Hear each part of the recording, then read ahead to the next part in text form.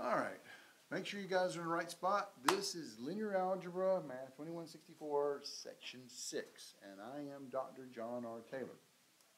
Uh, This is usually the smallest class I get to teach, but I got about forty-three students in here. And a couple of seats are missing, which means they're missing, but, uh, we're gonna be kinda tight in here, pretty much guarantee that. But it's a nice size, you got this little space where you're sitting at and stuff like that. But no more can add this class because there are no seats available according to what the class can hold versus how many people are actually signed up for the class. Um, this is linear algebra, but I look in your bright and shiny faces and I see a lot of my Calc one and Calc two students, uh, former Calc one and Calc two students in here. Uh, but this is gonna be different from my Calc one and Calc two. I don't have a guided notebook for you guys or anything like that. You're gonna go old school. You're gonna take your own notes. You're now in the you know, sophomore level of classes and stuff. So, but this is linear algebra, solving systems of equations, a very important class. And actually, it's not that hard of a class. There's some, there's gonna be some aspects of it that are, that are uh, interesting and dynamic and things that we can do with this stuff. The problem with this class is very simply this. Manipulating systems of equations. And in within that manipulation, we do a lot of things like fractions and, and adding and subtracting numbers and doing a bunch of stuff in our head. You see where I'm going with this. The problem with this class is careless errors. Careless error kills. One careless error completely destroys your answer. You get the actual wrong answer. And that makes it tough from a grading perspective because I know what the answer is. You didn't get that answer, which means you made some bonehead careless error someplace. So how do I grade something like that? Well, where did you make your bonehead careless error? Was it at the beginning of the problem or at the end of the problem? So I gotta go figure out where exactly you made that bonehead careless error. And based upon proximity to the actual answer, will be some type of distribution of what your, how many points are gonna be deducted off the thing. So if you screw it up from the beginning, well, you don't get many points. If you screw it up at the end, but all the other stuff is, and you can't figure out that one plus one is two, you with one plus one is, you get one out of it, cause you multiplied instead of added or something or other. Again, you got the wrong answer, you know, the, the solution is wrong, and bridge doesn't make it on the side of the river, and people die, it's all your fault. Careless error kills, you've gotta be attentionist with that. That's the hard part of this class, because it's real simple to make a careless error with this stuff. I mean, don't get me wrong, you'll be using your calculator, and I'm you some tricks on the calculator and things like that. But most of the stuff, you wanna have the ability to kinda do it on your own within your head.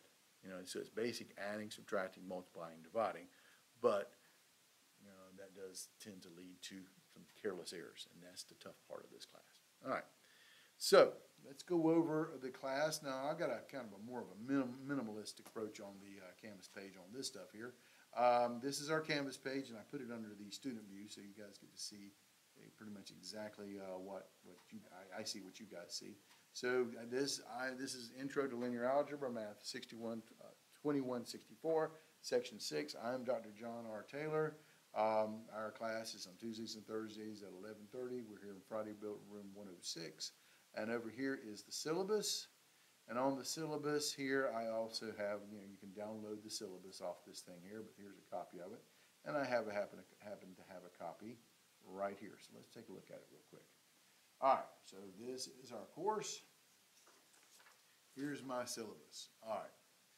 So, my office is over there in Fretwell three thirty-five A. Uh, this day and age, the best way to get a hold of me is obviously through email, uh, more than actually phoning me or anything like that. Um, so there's my email address.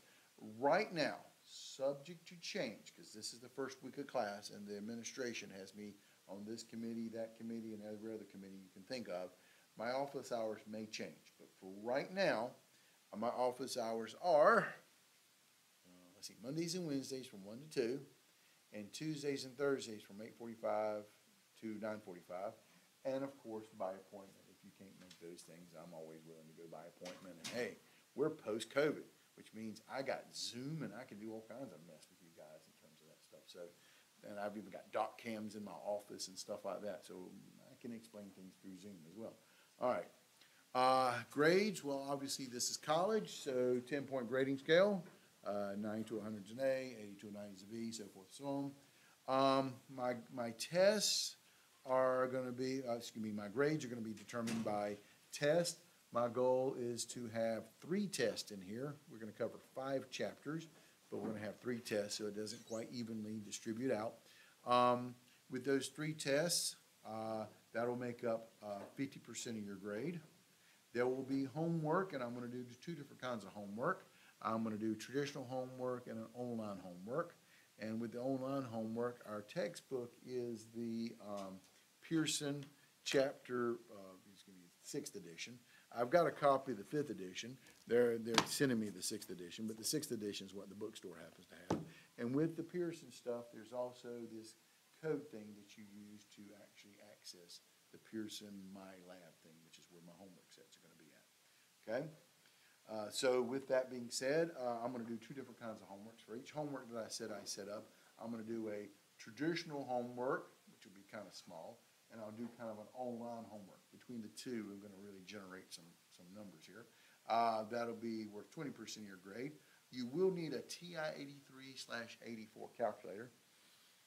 You'll appreciate that later. I'm gonna show you some stuff on the calculator, what the calculator can do for you, and it will help you with some of those bonehead careless errors. But, uh, you know, I won't let you use the calculator just to cheat and get the answer. You've gotta show me the work involved, but it's nice when the calculator can actually show you what the answer is and go, okay, I screwed it up someplace, I gotta go fix it, okay? And then the last thing is, um, uh, thirty percent for the final exam, that's a departmental directive.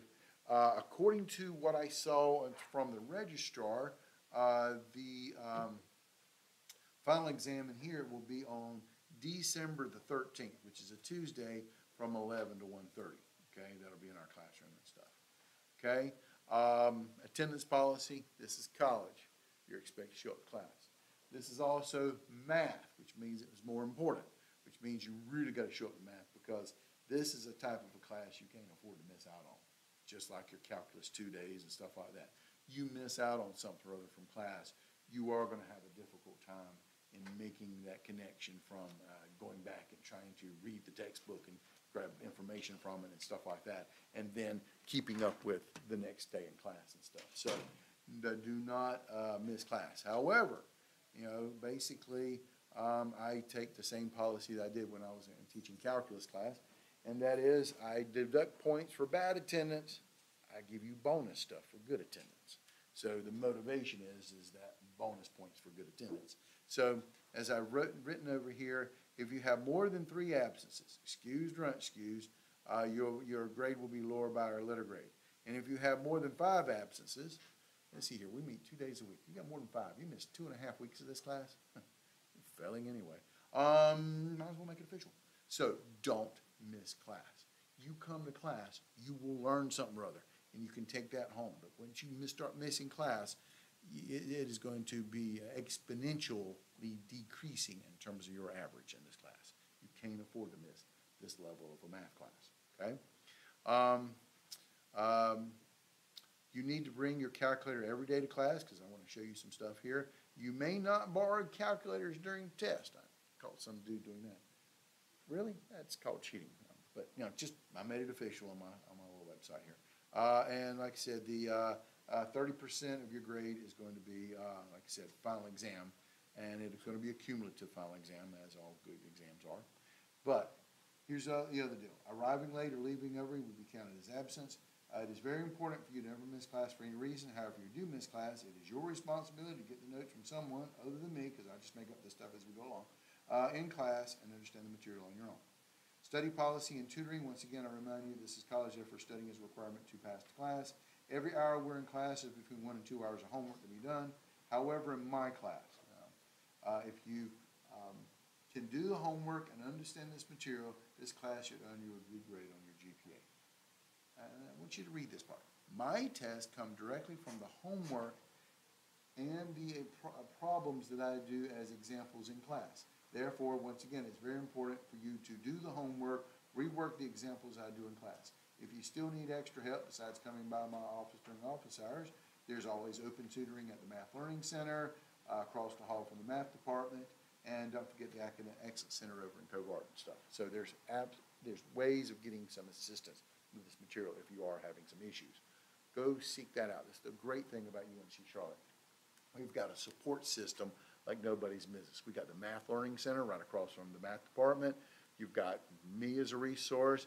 I've got uh, Jacob over here in the corner. He's actually my grader for this semester, kind of my go-to guy. So he's going to be sitting in here in the class with us and stuff. So I'm going to declare him to be a, a GTA there. Congratulations. Give you promotion. No, no money in it. Um, and so there is uh, lots of resources you can get. You also got COVAR, you know, the Mac Academic Learning Center, um, and, and, the material that they provide over there and stuff like that. So, and up to, up to tutoring, one, one hour per week on tutoring, but it's a first come, first serve basis. You've got to go sign up for that type of stuff. So there's, my point is, there's help to be had if you need it, okay? Um, but uh, hopefully you won't.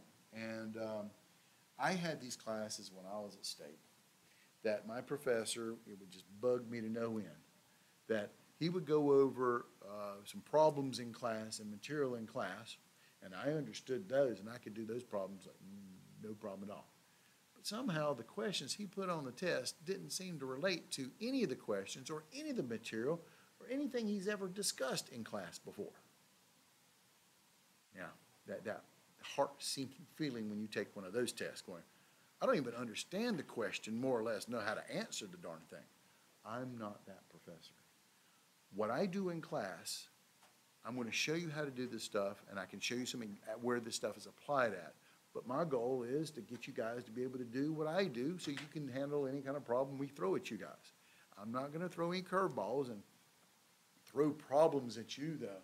um, I mean, for example, I had a professor at State, and this is when I was in calculus class. He, he would- you know, give your test, and he would have one question worth like eleven points from the next chapter to see if you were reading ahead. In calculus? Whatever. So, but why eleven points? This is how he separated A's from B's in his class. Now, you know, expected half the people knew calculus and stuff, but they want to know if they were reading ahead and stuff like that. Good students should be studying ahead. This is how he separated his A students from his B students. On that first test, well, I got caught cold because I didn't read ahead. Second, third, and fourth test, no, I knew, I knew his game plan. I played chess with this man. I knew what his moves were at, and I won that game and made my A. I'm not that guy either. The stuff I cover in my class, the cover stuff I cover on homeworks and stuff like that, that's what's kind of questions going to be on your test.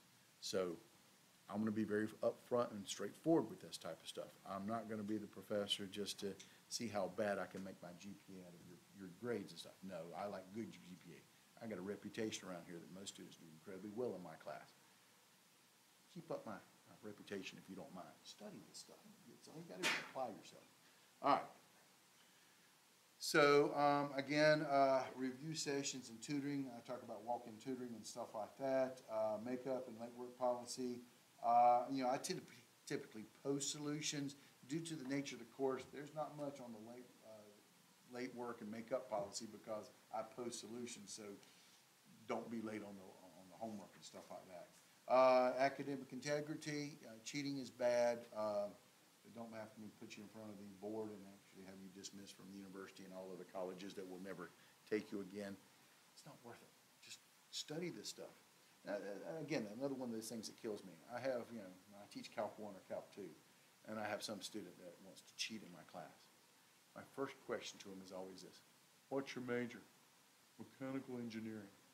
And you want to cheat on a calculus test? You have any idea of how important this material is in your future and you're trying to basically cheat your way out of a decent grade, even though you don't know the material, uh, it will bite you in the end, I guarantee it.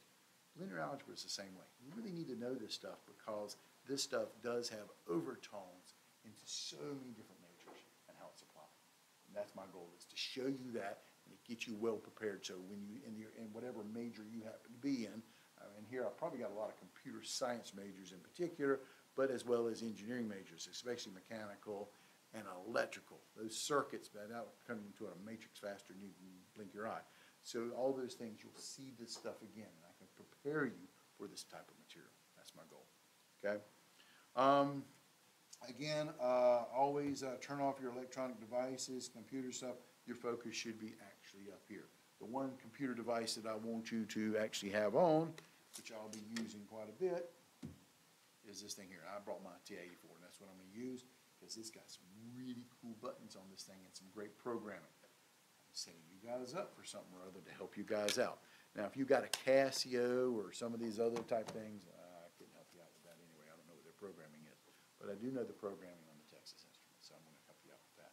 All right, um, and the other big thing on terms of my syllabus is I try to give you kind of a lecture by lecture series of what I'm covering and when I'm gonna give you tests and stuff like that. I didn't actually put any dates on this thing. I just basically gave you lecture one. I'm gonna introduce myself, go over the policy, and I'm gonna talk about section one point one. Lecture two, I'm gonna be going into section one point two. There'll be some layovers and stuff like that, but you can see from the way I've described it, you know, what sections we're covering, where we're gonna be at, where the test is gonna be, and then your next one, see, so test one is just gonna be chapter one. Test two is gonna be chapter two and three, and test three is gonna be chapters four and five. That's how I broke it up. We can get through test five. Okay? And there's gonna be lots of homework sets all along the way. And this is how you really learn this material and stuff. So, let me get back over here to my, uh, Canvas page, and if you come over here to modules, okay, here we go. I've already got up here a online homework set, and I went ahead and decided to go ahead and post it for you. The traditional homework set, you know what traditional means where I come from? Paper, pencil. Print this thing out, write on it, and turn it in. It's due on September sixth, so you've got like two weeks plus here. All right, so, um, I've already got these things set up, but this is your online homework number one. Now, with this one, it's probably gonna give me an error message on this thing. Uh, yeah, you got your Pearson and all this other stuff, cause I'm on the, uh, user-friendly thing here in terms of you gotta type in your, uh, license agreement and access code. When you buy the book, you get the access code and all that good stuff. All right, but, um, if I get out of, let's see here, leave student view, let's see what happens here. I leave the student view, uh, it's still gonna give me that thing over here and all that good stuff.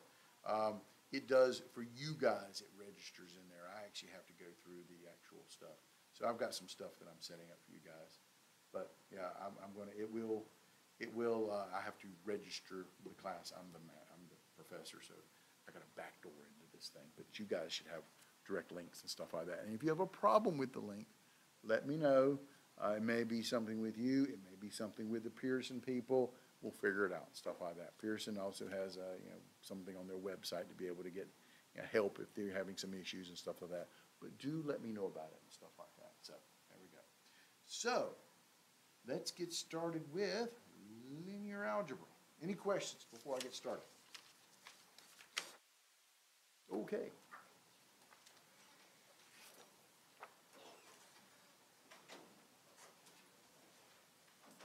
All right.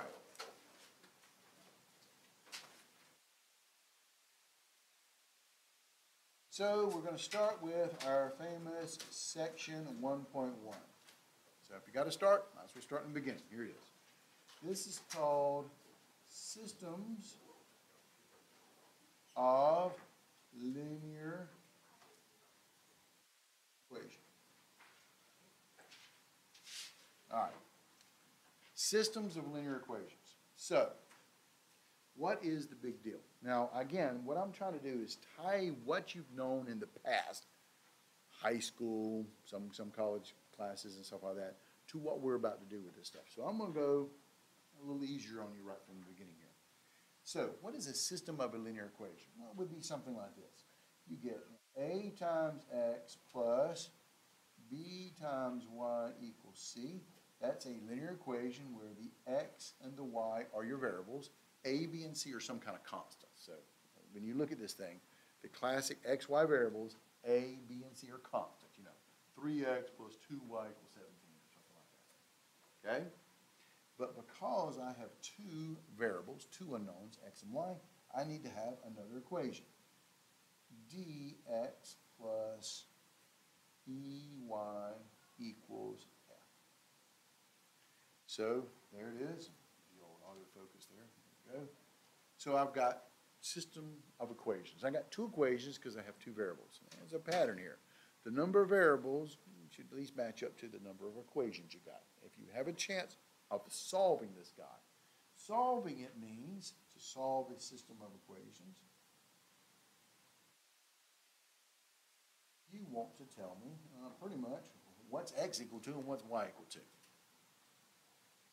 Okay.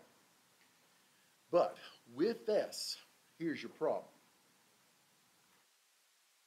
This scenario, I'm going something that I can actually graph, so that's why I took two variables on this thing. There are three possible answers. Now, this is a linear equation, ax plus by equals c.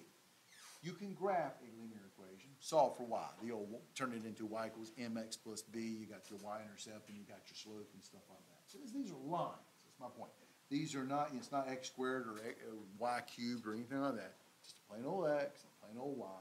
These are linear, these are lines. So, there are three scenarios. What are the three scenarios? I'm gonna graph this guy here. Here's your x-axis and your y-axis, and you graph the two guys. So here is, I'll call this L one for line y, for line one. Here is L two for uh, line two, and you get that guy right there. That right there is your x, y. You have a point, okay? And with this point, that we would call this exactly one solution. That's it. X equals five, Y equals four. You get a solution. Your problem is gonna come in when I start doing this. X equals two-thirds and Y equals negative one-half. I start throwing fractions at you guys and watch you guys completely fall apart. It's sad, okay? Lots of fractions in this class, and that's where that careless error bonehead stuff comes in handy. So we're gonna work on your algebra skills in this class. But for one, case one here, you get exactly one solution, okay? There is this case here. Case two. Graph it, here's your x-axis, here's your y-axis. And I got over here, here is, when you graph it, here's your line one, and when I graph it, here is your line two. Where is the solution? So in this one, this would be a no solution situation. A no solution, we would call this, first off, the exactly one solution, let me get my fancy words up here, would be called a consistent, unique solution. That's when you get one answer. For no solution, we call that inconsistent. So, okay, it's no solution, but if we're gonna be fancy about our terminology, we would call this inconsistent. There's no solution on this thing. So, in this case, because I have a two-variable case, these two lines are parallel, they do not intersect. So we're looking for the point of intersection, this does not have a point of intersection, no solution, an inconsistent system. But there's a third case.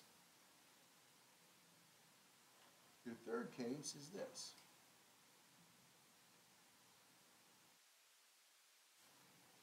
Here is line one.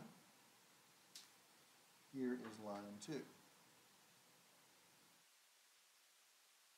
Line one is equal to line two. So the lines lie on top of each other. So, I'm looking for the point of intersection. How many points of intersection are there? There's an infinite. Every point in, on the line, every point on the line is a point of intersection. So we would say this would be infinite, infinitely many solutions. You've got to be on the line. Point over here doesn't work, but every point on this line actually is a, a solution. And, but we would call this, and because there is a solution, there's a lot of them, get used to the terminology. The word consistent means it has a solution. Inconsistent is no solution. Consistent, unique means there is a solution, there's only one. So for infinite number of solutions, this thing is going to be called consistent because there are solutions on this thing, but it's, instead of unique, it is infinite.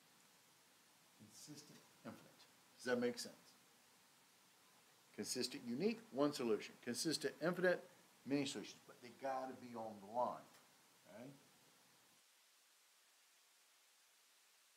Now, what we're gonna be going after is basically this. How do we solve a system of equations and stuff? Okay? Now, if I give you something like this, question, sorry.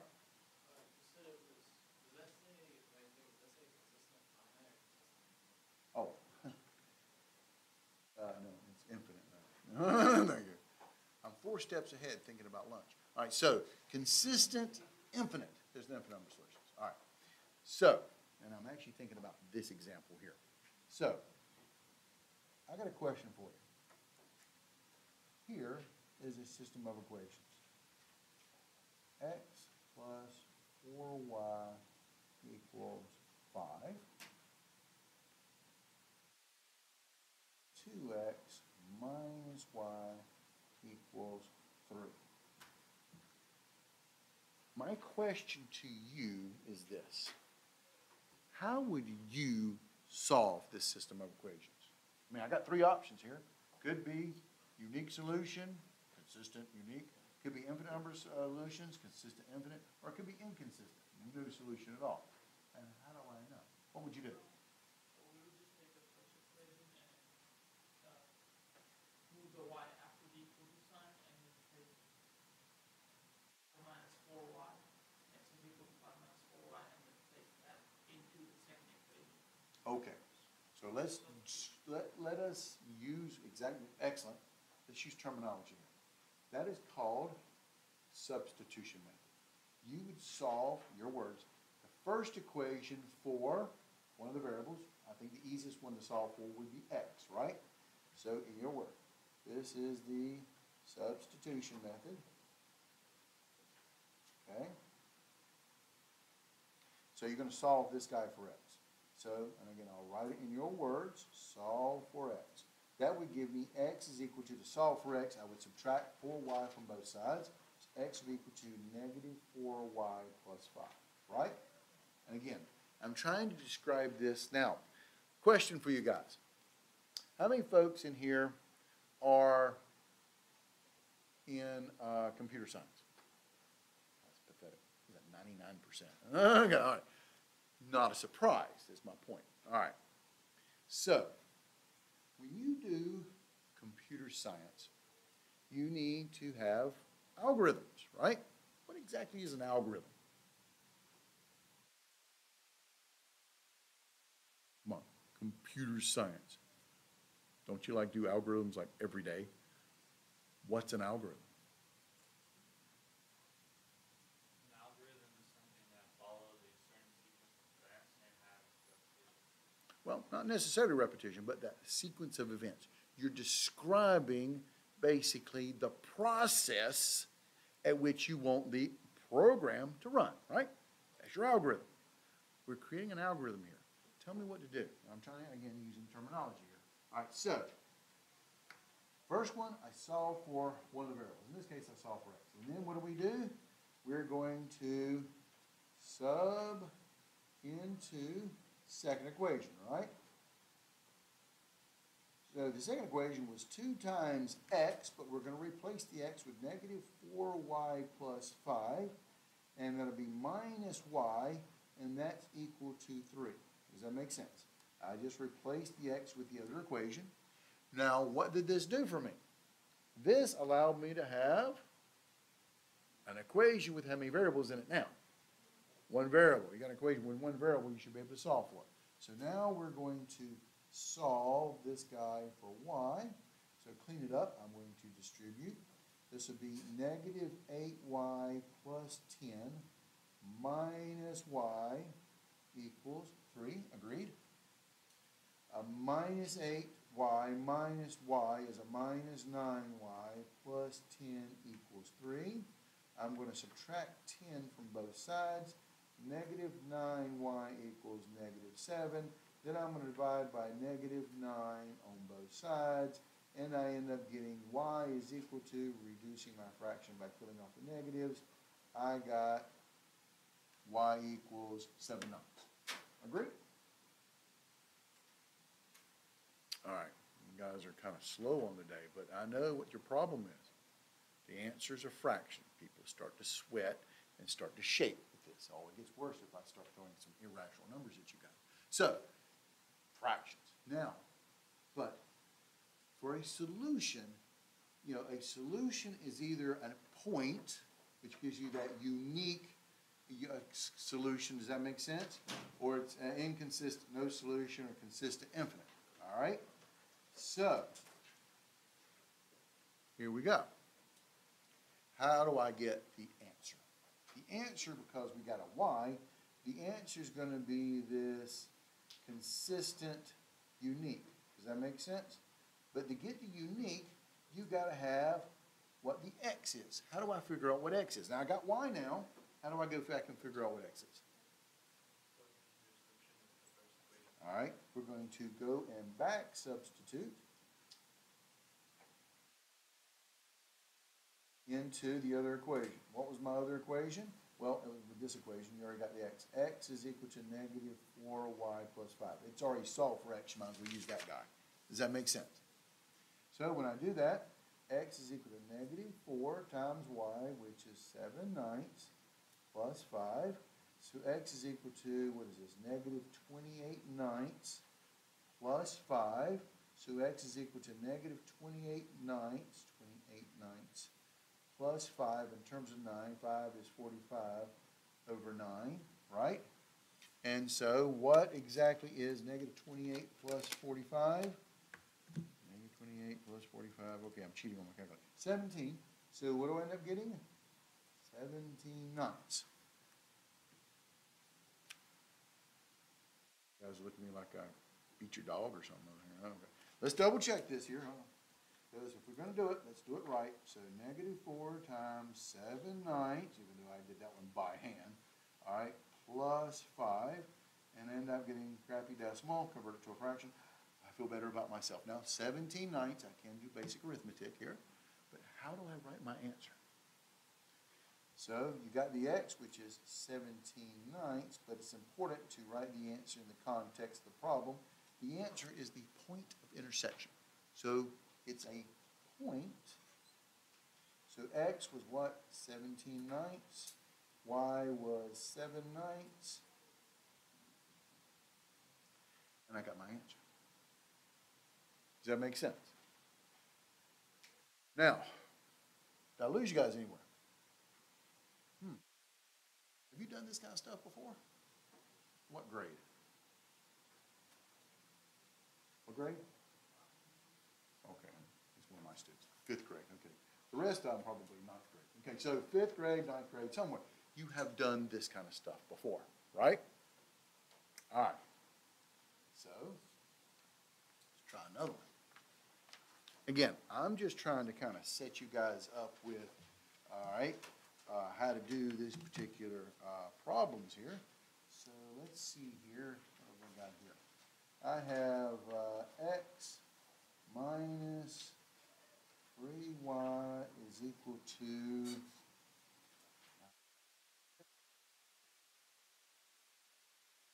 two x plus six y is equal to, um, one. There we go. All right. Find the solution for this guy.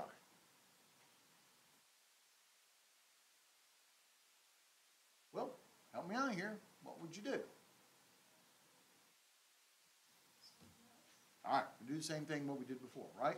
Use the same algorithm. Let's see what happens. So I'm here, I'm gonna solve for x by, again, using the same algorithm. And again, just kind of talking about it, solve for x here.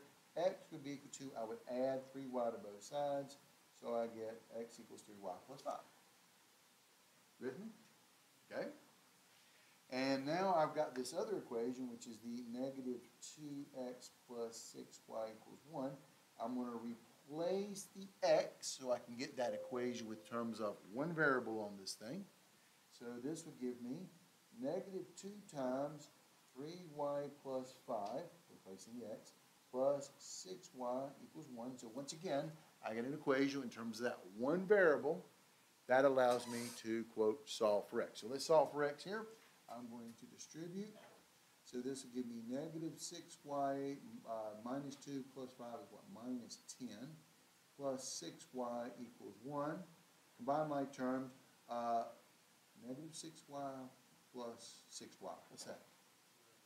I'm afraid they cancel. I'm left with negative 10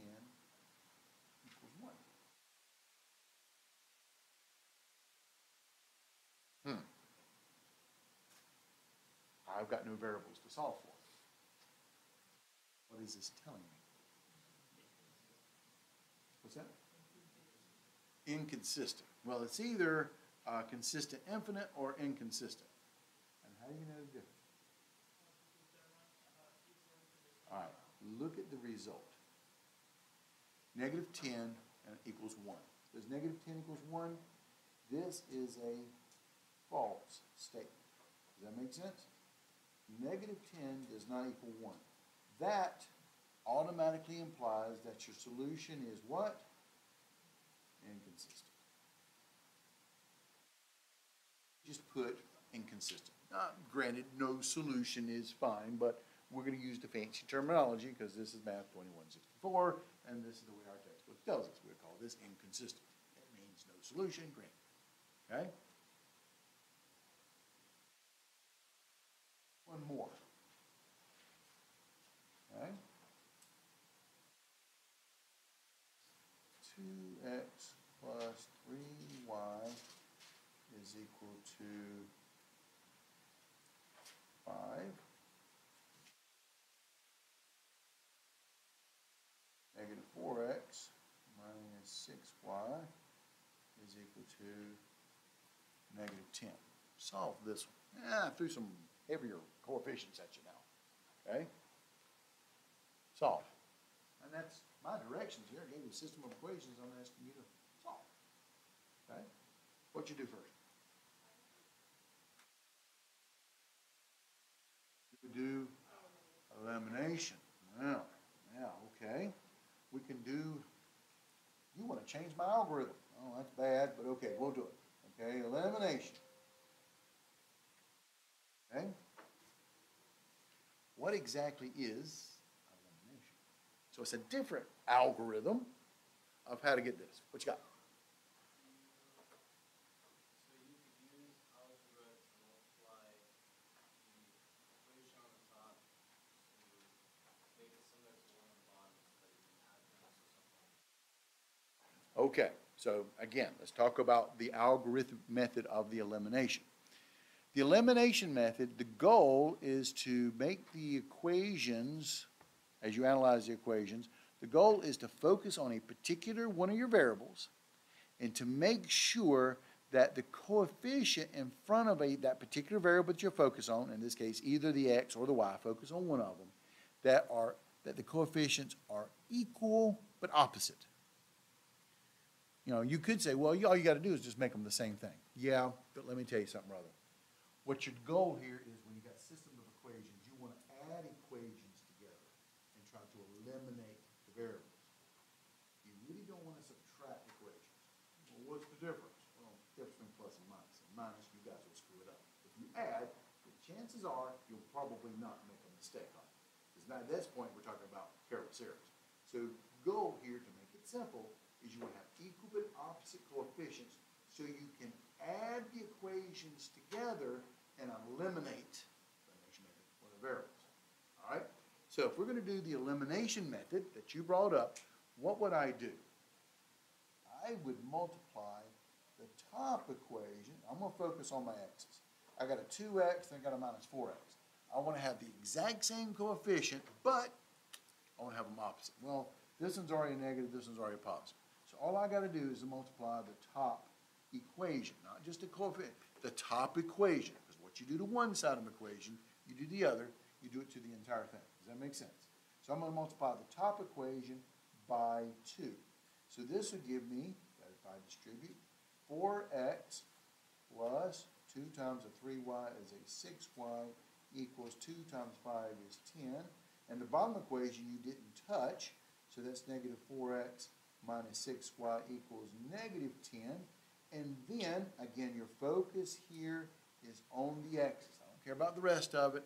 Equal but opposite coefficients. And then I can just add these equations together and eliminates one variable, allowing me to solve for the other variable. So again, it's another algorithm, but that describes to me a particular method of how to, quote, get the variable by himself. So, what is four x plus a negative four x? What's four x minus four x? That's the whole purpose, that canceled, that eliminated the x's. But in this example, I've got a six y minus six y, that is a zero y, or pretty much zero.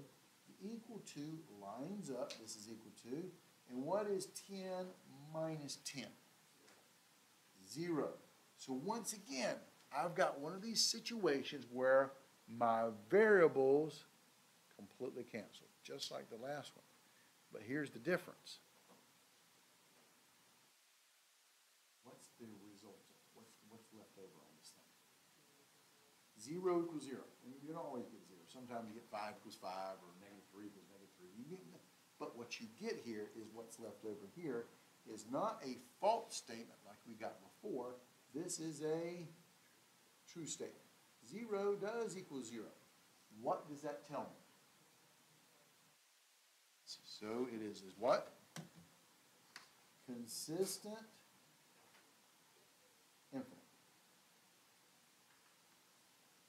Sense. But, what does consistent, infinite really mean? There's an infinite number of answers. And I was very particular when I talked to you guys about this just a few minutes ago. Well, any point will work, right? That's an infinite number of solutions, right? No, that's wrong. Forty-five, negative seventeen, is that gonna work this thing? Probably not, I just made it up. So, it's gotta be real particular. So How, what's going on here? Consistent infinite means they are the same equation, right? Same equation is what you were working on. So I've got to figure out a way of describing the solution, right? Since they're the same equation, the solution, there's an infinite number of them, the solution is going to be x, y, but since it's the same equation, you should take one of these equations and just solve for y. I'm going to use the top equation. 2x plus 3y equals 5. I'm going to solve for y here. And so I would subtract 2x from both sides. That gives me 3y equals negative 2x plus 5. Then I'm going to divide by 3. What I do to one side, do the other. What I do to one term, I do to all terms. I end up getting y equals negative 2 thirds x plus 5 thirds. I said this. Well, when you have that consistent infinite, you, there's an infinite number of solutions on the line, right? You've got to be on this line. 45, negative 32 is not on this line. I just made him up. What is on this line? It are these points. X comma y, replace y with a negative 2 thirds x plus 5 thirds. So it's consistent, so you can write an answer, but x can be any real number. That's where the infinite part comes from. Does that make sense? So, all right, let me give you an example. x equals 1. If x equals 1, what is y equal to? Don't Hurt yourselves. 1, good, okay. Negative 2 thirds times 1 is negative 2 thirds, plus 5 thirds is 3 thirds. 3 thirds is also known as 1. I warned you about these fractions. So 1, 1 is a solution on this line. 2 comma mm, positive 1 third is another point. There's is a different number of points. You pick whatever x you want, it's going to be, but you got to plug that x into this equation to be able to get y. And it doesn't matter which equation you use because they're the same equation. So when you solve for y, you get the exact same equation. Does that make sense? Yeah. But this concept of elimination, you picked it. Excellent algorithm to do with this thing.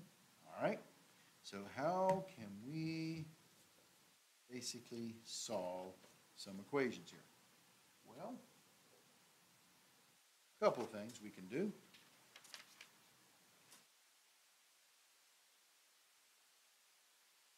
Now, have this system of equations, okay? And I remember writing this for you last time, so let's beat him up again. The AX plus BY equals C, and the uh, DX plus EY equals F.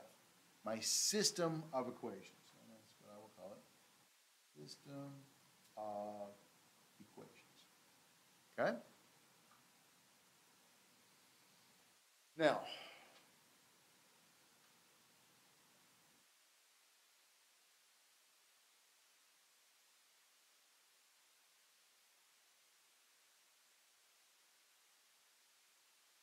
let's talk about what the coefficients of x and y. Again, your problem that I'm having with linear algebra is I'm trying to get you into terminology. Well, same old terminology we use in algebra. It is called linear algebra. What does the word coefficient mean to you guys? The constant coefficient in front of the variable. So if I want to talk about the coefficients of the x and y, they are the a, b, I am trying to put them in order, the d, and the e. Does that make sense? Now I'm going to put a big old block around this guy. And when you put them and they have this rows and columns of numbers, this is called a matrix. That's right. Day one, we start talking about matrices. Okay, matrix. This is the coefficient matrix. Okay? There is the constant matrix. Order matters. What are my constant? It's equal to C and F. That's the constant matrix. Okay? And again, I'm trying to again discuss terminology with you guys. So, these are the coefficients, there's the equal to, and there's the constant. So we can do something like this. Okay? We can use something called an augmented matrix.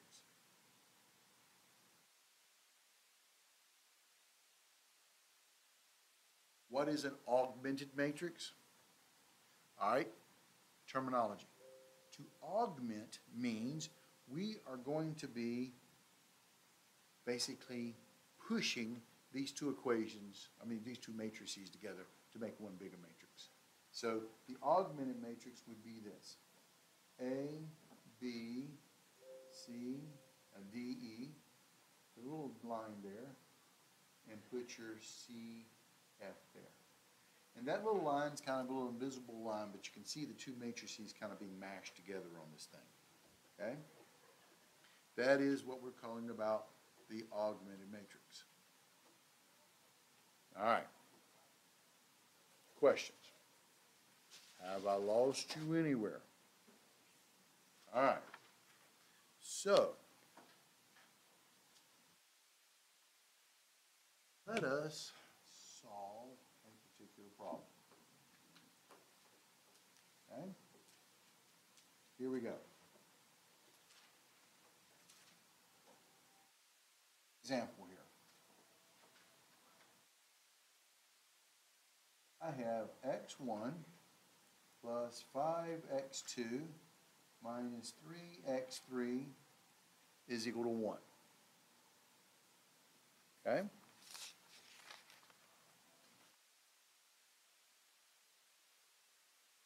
How many variables I got on this thing? Three. X1, X2, X3. Okay.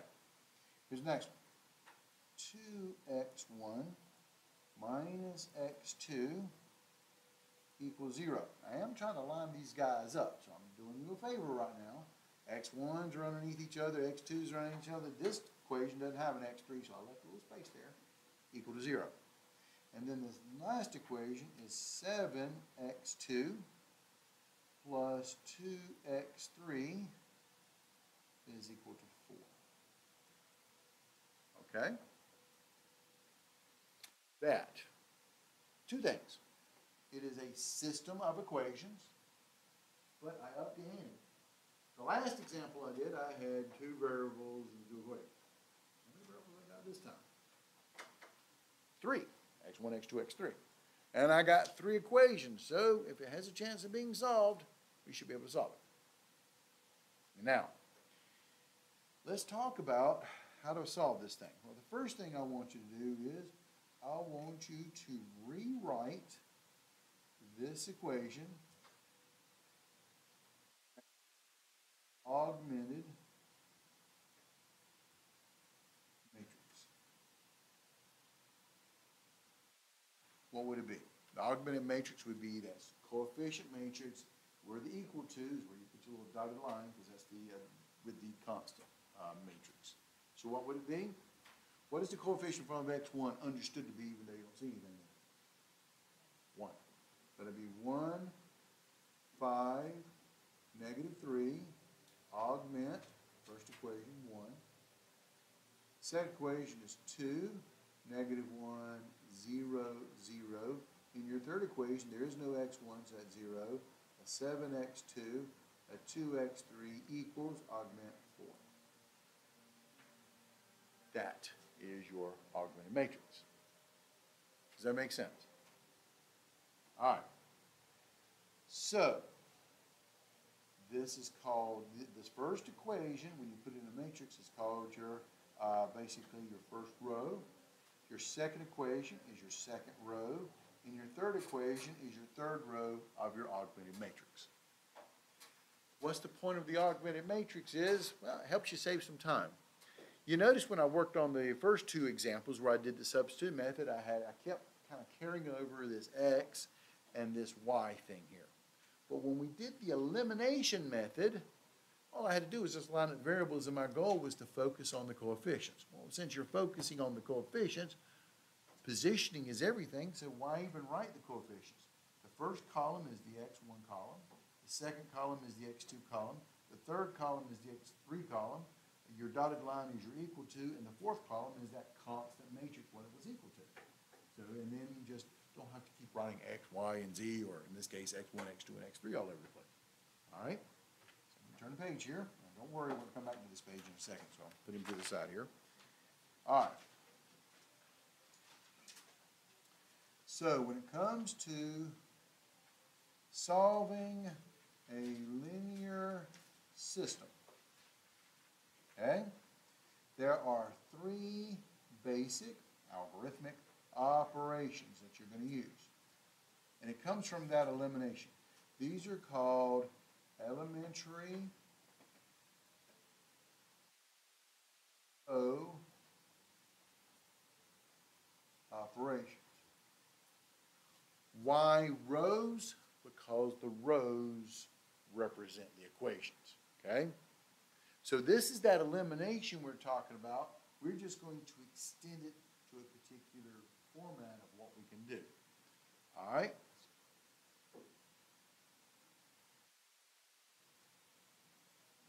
Okay, so what are the things that you can do?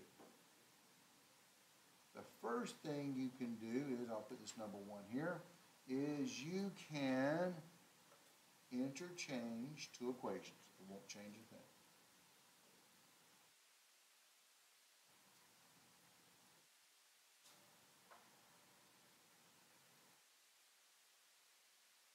You had the first equation, second equation, third equation. Is it really gonna bother you to write the second equation, third equation, put the first equation at the bottom? No, they're still the same equations, right?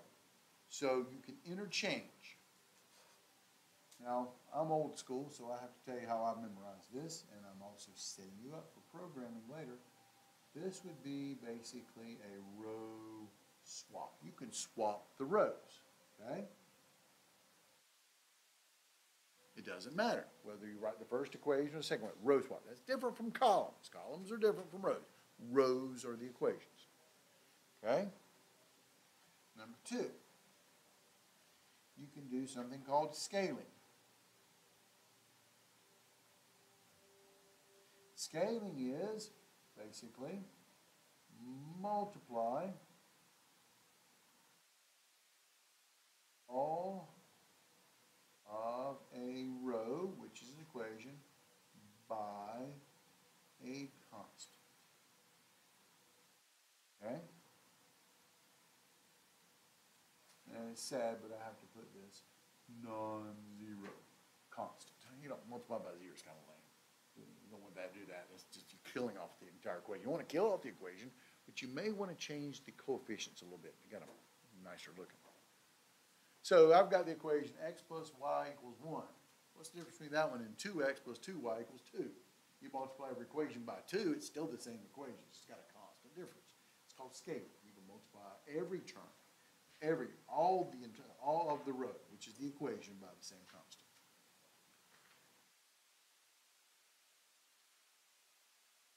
Number three, this is, uh, the replacement. This is the goal. You can replace one row by the sum of itself and a multiple of other row. Now, order matters, so this is the big one. I'm saying this, if you got this equation right here, I can take that equation and replace it with that equation being added to one of the other equations times a constant, plus that equation. So you can take that row, add that row to a constant times another row. You can take that equation and replace it with that equation with the, uh, plus a constant times one of the other equations. Okay? Now, I'm, I'm, so this is important. You take that equation and replace it with that same equation being added to one of the other equations, one of the rows, being multiplied times a constant, find that, that scalar. All right, so.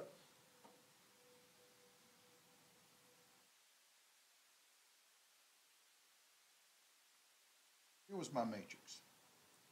One, five, negative three, augmented with one.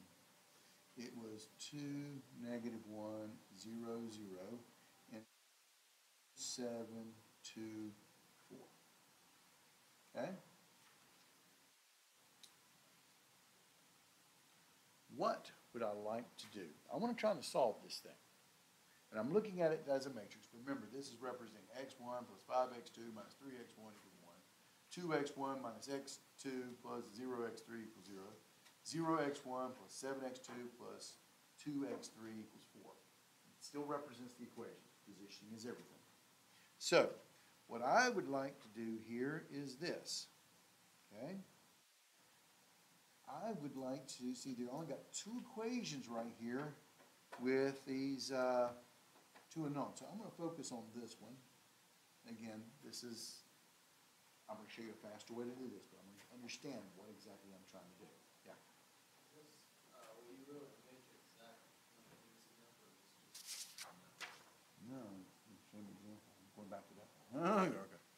All right, sorry, thought you knew. Uh, From that matrix, I, I didn't make him up, it's the same one we did, I just put this into its place, so what the things we can do.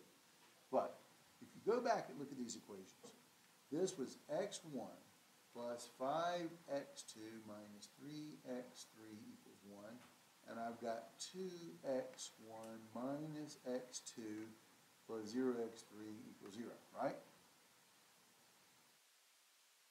Now, I'm talking about that elimination method that we were talking about before, right? I want to eliminate an x one.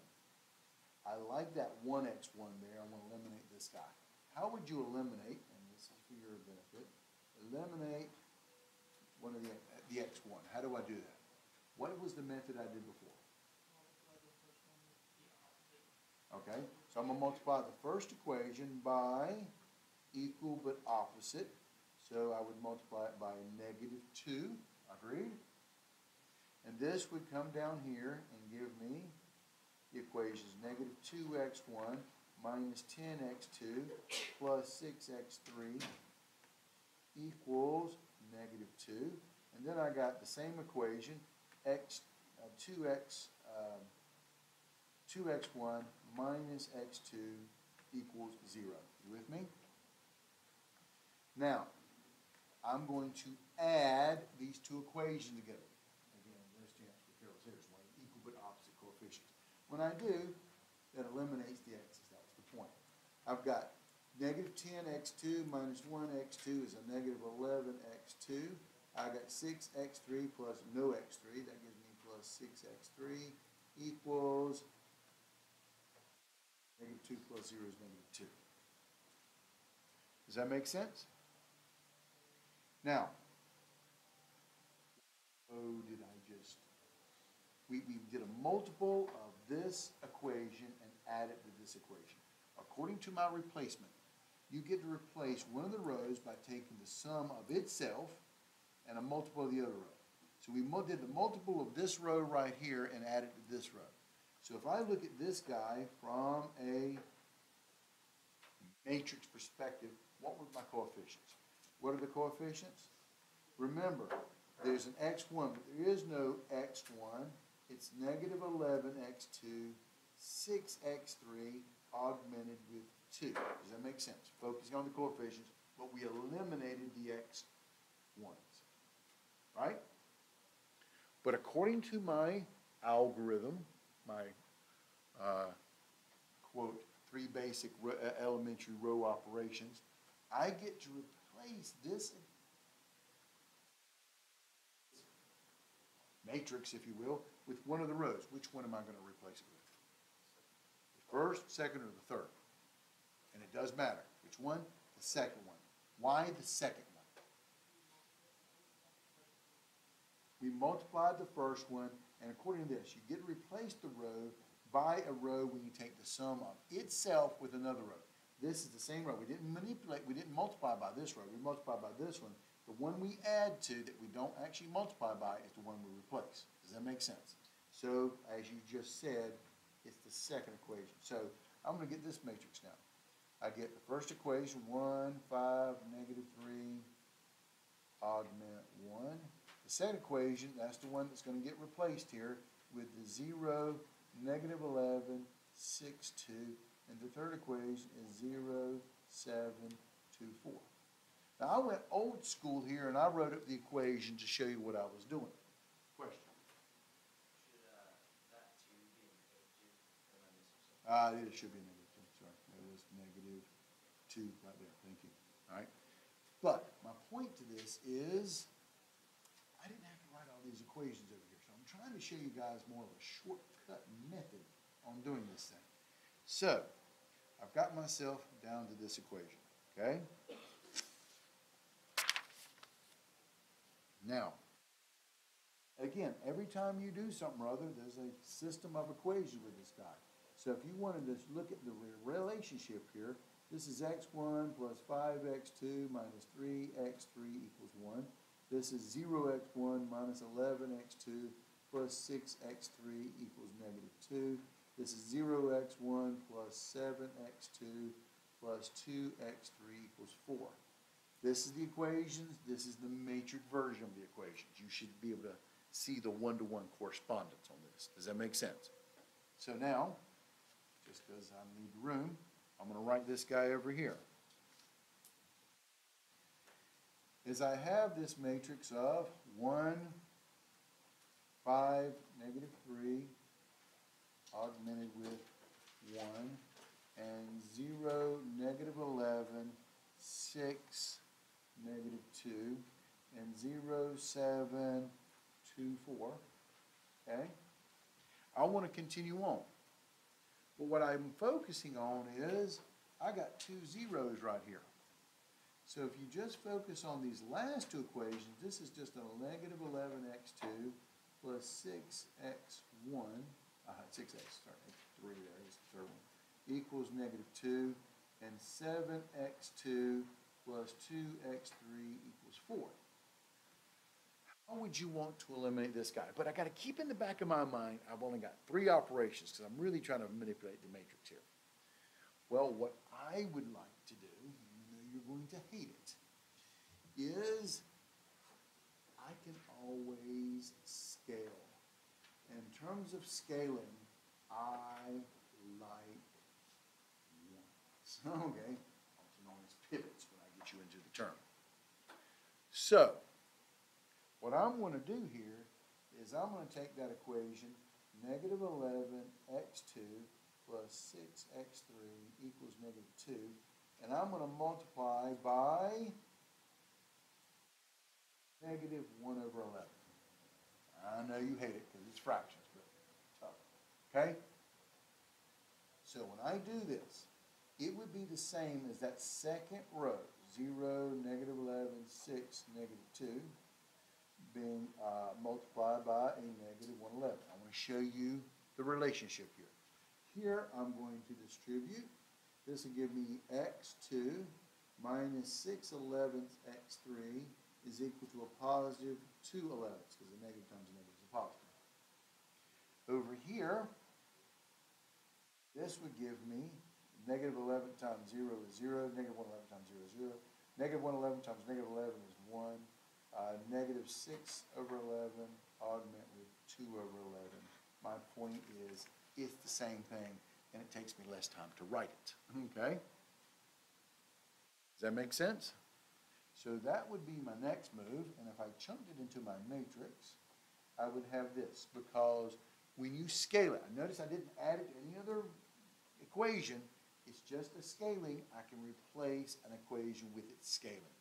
So again, I'm gonna replace the second row there, one, five, negative three, one, zero, one, negative six elevenths, two elevenths, I know you love it. And then the third equation is zero, seven, two, four. Now, why did I want to do that?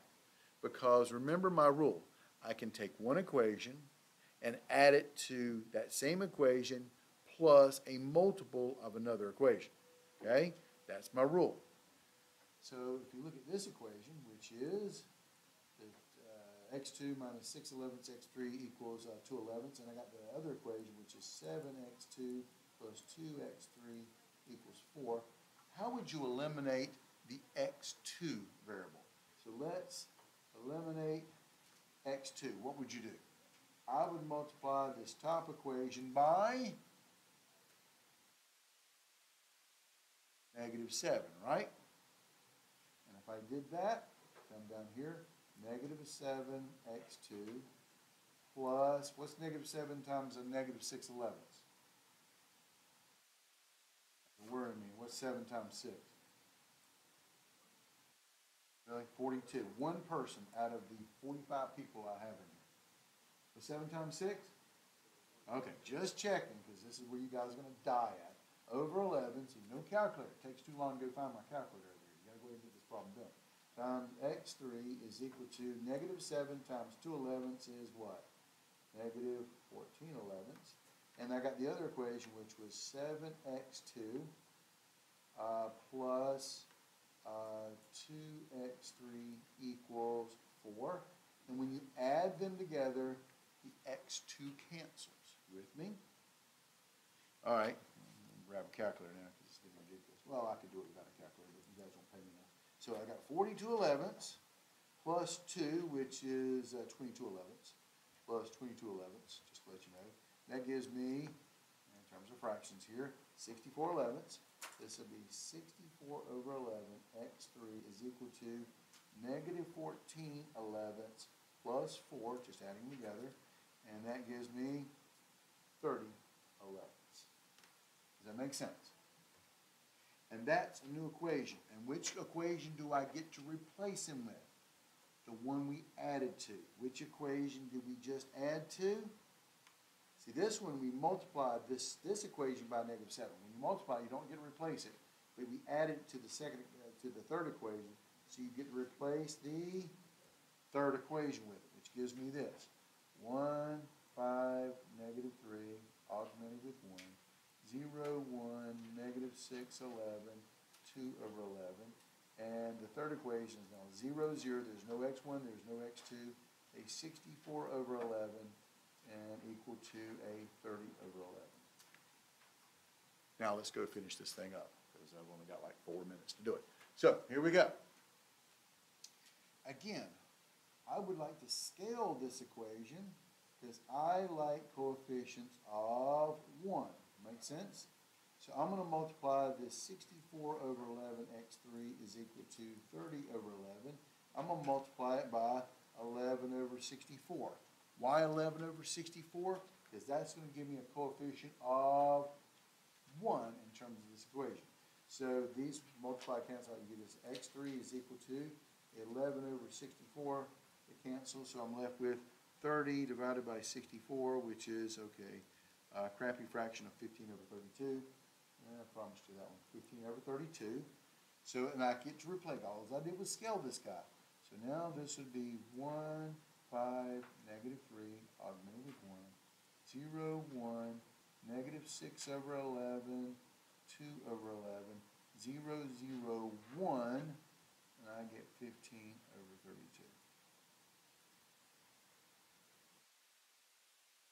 Does that make sense? Now,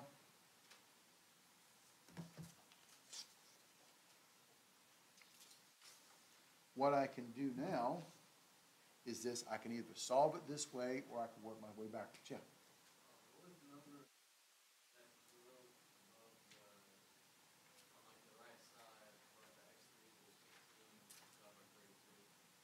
x3 equals 15. This one, sixty-four over eleven, no, six, sixty-four over eleven, X three is equal to thirty over eleven. That one, No, no, the one on, the one on this one, eleven over sixty-four. What I did to one side, I did the, uh, I mean, just multiply by both equations here, eleven over sixty-four, so I get that coefficient here. But now, here's my point here. Okay, what does this actually mean?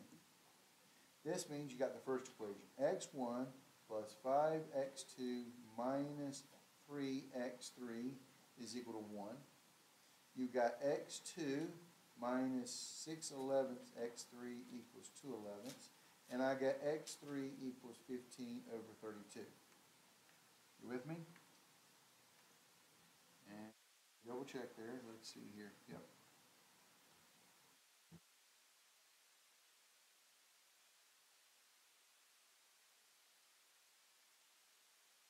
All right, so, you notice I already have one of the answers. How would you find the other guy? I can go back and plug it in.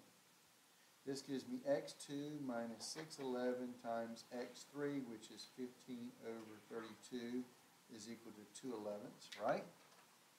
And then I could just move this to the other side, and I got two divided by eleven, moving it over, plus six divided by eleven times uh, fifteen over thirty-two. Crappy fraction, what crappy fraction do I get? I get x two to be equal to seven over sixteen. That make sense? And then I could, now I got these two answers, I can go back to the first equation, x one plus five x two minus three x three equals one. And that gives me x one plus five times x two, which is six, uh, seven over sixteen, minus three times fifteen over thirty-two is equal to one. And I can solve for x one by moving these to the other side, and I'll just show you quickly, it'll be one minus, removing the other side, five times seven divided by sixteen, plus, moving the other side, three times fifteen divided by thirty-two, and then I'm getting crappy fraction of seven over thirty-two. Does that make sense? I did that elimination of the back substitution.